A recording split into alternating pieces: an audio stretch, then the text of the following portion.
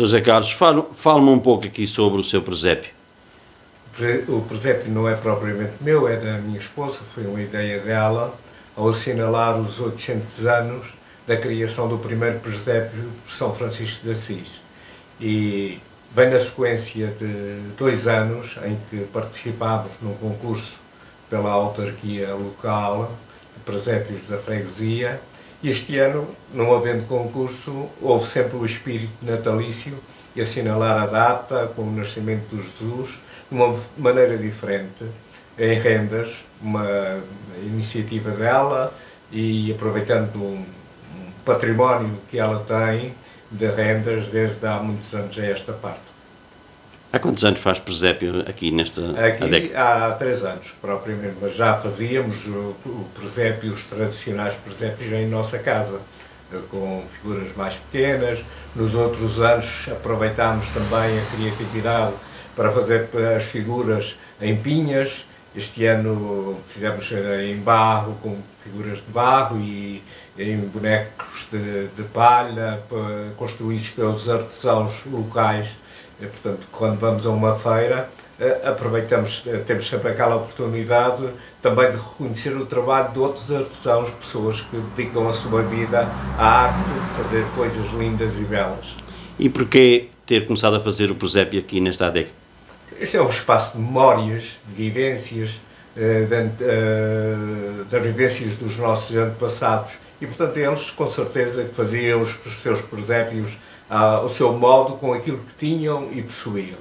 E, e, nós, eh, é uma maneira também de convidar a população a vir aqui visitar este espaço museológico e assim também, nesta quadra natalícia, também ver a, a, a memória da, do presépio do nascimento de Jesus. Nesta adega tens uh, o todo o tipo de ferramenta que se usava na, na, na terra?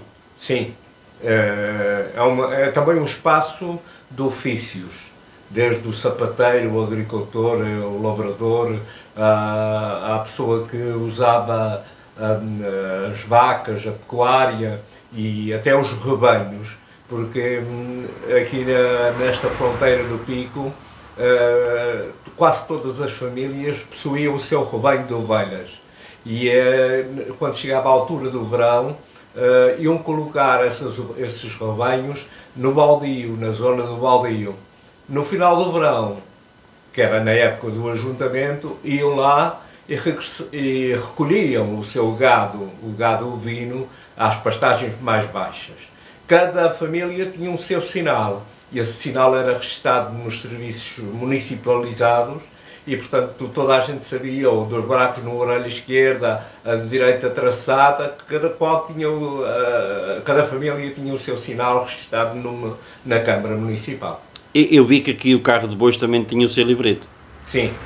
Eu, eu tenho dois carros, uh, neste caso eram mais carros de vaca, propriamente dito, do que carros de bois, porque o carro de vaca, porque o carro de vaca? Porque a vaca para além de fazer o serviço relacionado com a agricultura do, da, da família, portanto, lavrava, carreava, fazia esses trabalhos todos, também dava o vitelo.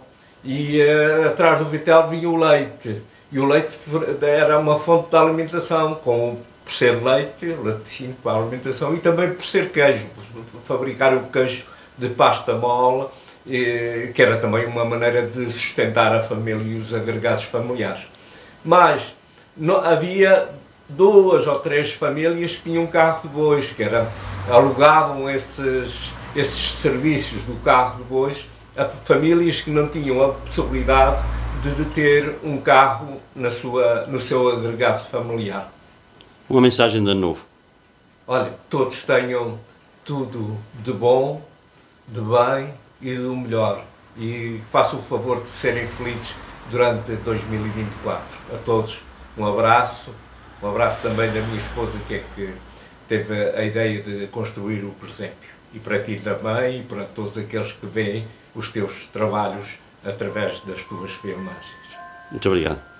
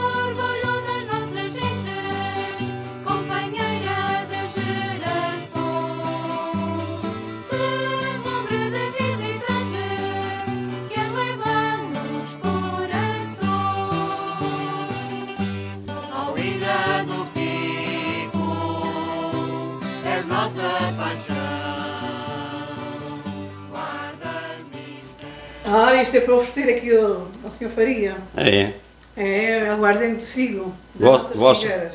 das vossas figueiras. Sim, senhor. Olha, muito, muito obrigado, será bem. Vou, vou beber com muito carinho.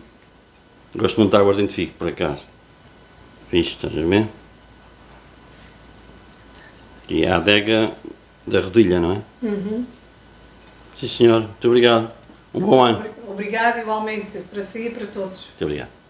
Não deixe que o tempo apague as suas memórias e recordações. Contacte Vídeo Digital Faria. Captação e edição em vídeo. Conversão de formatos de vídeo de VHS para DVD e áudio de cassete e vinil para CD. Vídeo Digital Faria. Empresa de audiovisual especializada na cobertura de eventos em suporte digital. Casamentos, batizados, aniversários, imagens de drone e outros momentos especiais. Vídeo Digital Faria. Telemóvel 965-832373. Açores Grupo Central. Vídeo Digital Faria. Disponibilidade, qualidade e profissionalismo.